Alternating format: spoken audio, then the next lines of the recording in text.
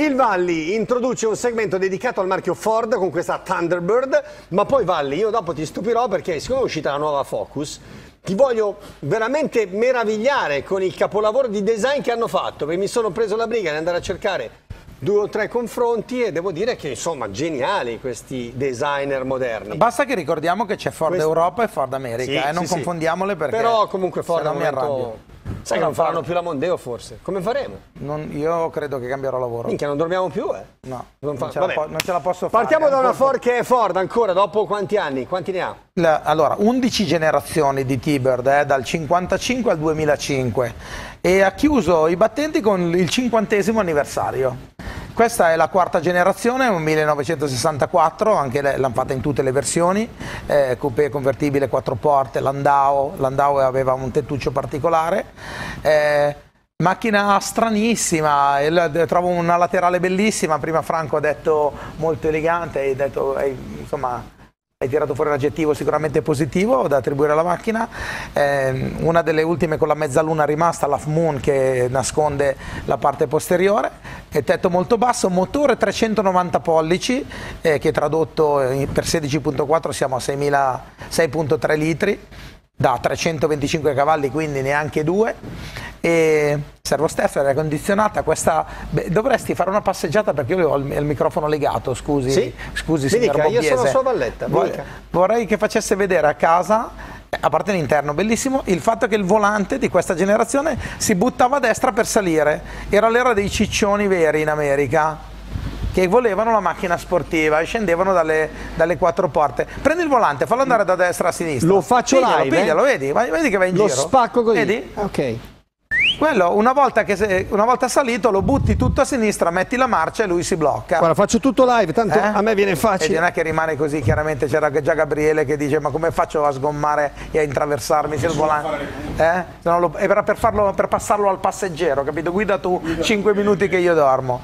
Eh, strumentazione stranissima, vedi questi, questa strumentazione all'Apollo 13, eh, questi gusci dei sedili così a conchiglia, insomma poi il tono su tono, secondo me loro erano bravissimi ad accordare i colori, Franco mi devi, mi devi ammettere che gli americani per il tono su tono e l'abbinamento colori, il tetto chiaro, il metallizzato fuori, questo azzurro agli interni, eh, cromatura ovunque, insomma io la trovo bella, in America non è una macchina amatissima, non è una macchina che vale tantissimo, io questa eh, chiedo poco più di 25.000 euro, ma la trovo bella, intrigante e molto particolare, non so cosa ne pensate voi. Secondo me è bellissima ma è un po' troppo particolare, cioè, mm. per me è veramente sì, sì. oltre.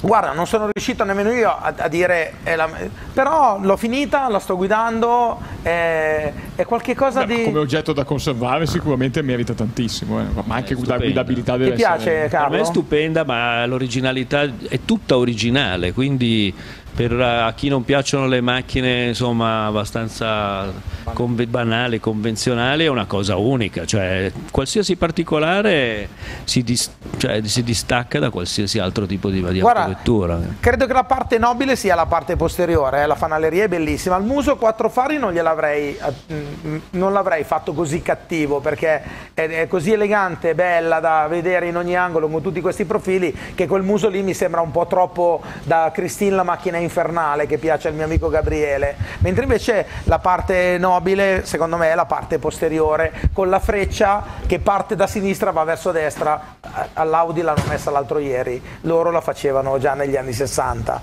la freccia che cammina da, dalla parte interna alla parte esterna, guarda, guarda che bella.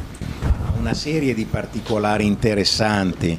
Per esempio, guarda la linea, la linea di cintura eh, superiore alla linea posteriore, cioè quel pizzicotto. Bello pizzicotto, sì. Quel pizzicotto che era uno, uno degli, degli stilemi Touring, cioè quel pizzicotto che riduce di un'auto importante, riduce il peso di una fiancata. Loro ne hanno messo uno sopra e uno sotto.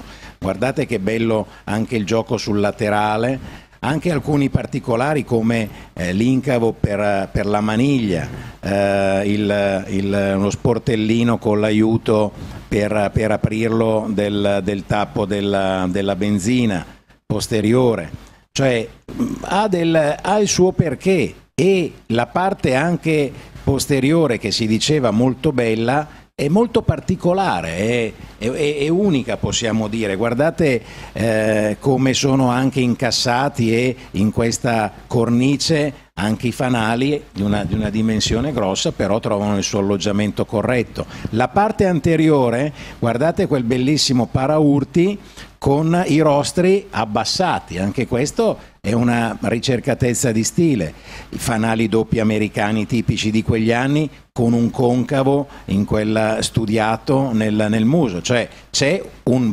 No, no, è ricercata. Un, è, è ricercata. La, la, parte di apertura del cofano, vedete che non viene tirata dritta, ma è fatta ovviamente con un determinato disegno, se guardiamo la parte superiore vicino al parabris. Quindi eh, gli interni poi sono originali, gli interni. Sì, sì, originali, allora, conservati. Perfetti e gli interni sono veramente un salotto e i colori, una cromia eccezionale perché eh, guardate che accoppiare colori così tenui con un verde, un verde come possiamo dire, non è un verde smeraldo però azzurro verde, è una trovata ed è, è col cruscotto così, col volante a calice, bella macchina. E mi, e mi, dispiace che non sia così valorizzata perché è un bel pezzo questo. Però Franco, adesso passo una foto a Filippo che sicuramente tra, tra, due secondi apre il mio computer.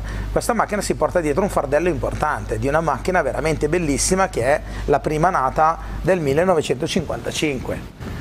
Qui c'era una grazia eh, anni 50 pazzesca, no? nasce da lì. Qui siamo quattro generazioni dopo cioè il tempo che si porta dietro le nostre macchine, cioè evoluzioni dei, dei, modelli, è il tempo che lo fa. Cioè quella vedi più un'auto ancienne, questa certo, vedi più un'auto sul, sul, futuro. Cioè, Assolutamente. Eh. Comunque mi piace, eh, ragazzi. Io, poi il motore 390 Ford, per gli, amanti, per gli amanti del Ford, ha equipaggiato anche la Mustang e ha vinto tantissimo. Quindi parliamo di un motore depotenziato in questa che fa sorridere perché comunque ha 325 cavalli da scheda tecnica, ma sulle, sulle Mustang l'ha fatta andare davvero forte e da guidare è troppo bella, troppo comoda, Immagino. troppo che cambio su?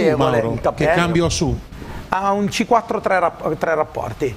Che all'epoca erano quasi tutti i Power Glide due rapporti di queste qua, quindi già avere un tre marce non è male. Sì, poi la cosa bella delle, de, de, di alcune americane è che si sono salvate dal rapporto corto per la sportività, no? questa che era già da viaggio, io ho delle Corvette del 70 con 454 b block e chi, chi, la compra dice ma cavolo ma sono in quarta a 140 col motore che scoppia, no? perché ti dà fastidio il motore a 154.000 giri, soprattutto se ha un 8 cilindri, capito? Qui invece ha una bella velocità di crociera, un motore potente, se butti giù c'è perché ha il quadricorpo, però con una con una rotazione a 120 da surplus, capito? Da 1500 giri. Tutto Perfetto. questo la rende speciale.